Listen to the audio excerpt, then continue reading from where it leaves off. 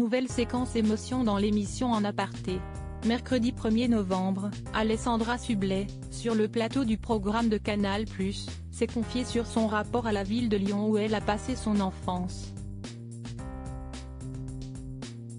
Siesti également l'a convaincu ses deux grands-parents dont elle a toujours été très proche, qui sont aujourd'hui décédés.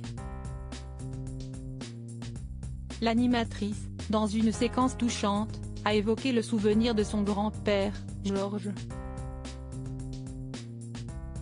Siesti lui qui a apporté cette légèreté et cette culture artistique chez nous? C'était quelqu'un d'absolument merveilleux, a-t-elle confié, le sourire aux lèvres. Alessandra Sublet a ensuite commencé à raconter la découverte poignante de l'être reçu par son grand-père,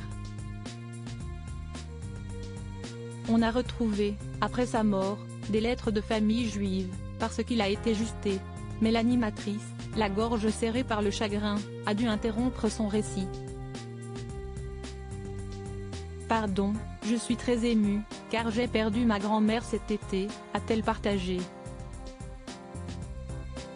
L'ancienne épouse de Clément Miseré a finalement tenté de contenir ses émotions, en faisant marcher sa raison, si est-il le sens de la vie, tout est normal, mais j'ai tellement d'affection pour mes grands-parents. Ils ont été toute ma vie. Supérieur à supérieur à Alessandra Sublet et les membres de sa galaxie Alessandra Sublet, spirituelle malgré le chagrin causé par la perte de ses proches, Alessandra Sublet a expliqué trouver du réconfort en se disant que ses deux grands-parents se sont retrouvés dans un après.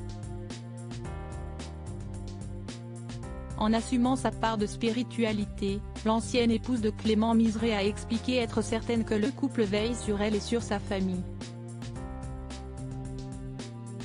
Je les sais maintenant réunis là-haut, et ils nous regardent, je ne suis convaincue, j'ai la foi, a conclu l'ancienne animatrice de ces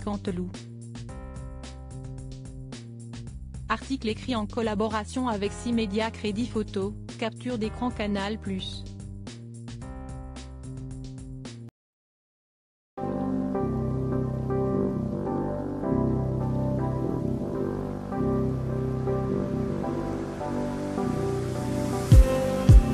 just